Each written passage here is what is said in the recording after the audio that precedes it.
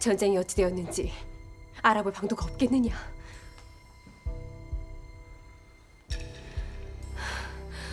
이렇게 감금되어 있다가는 가슴이 터져 죽을 것만 같구나.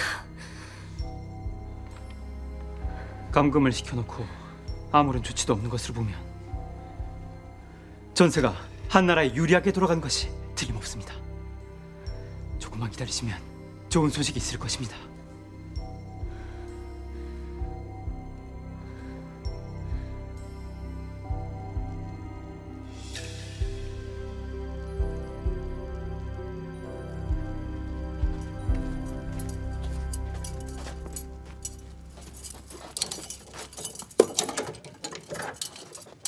나와.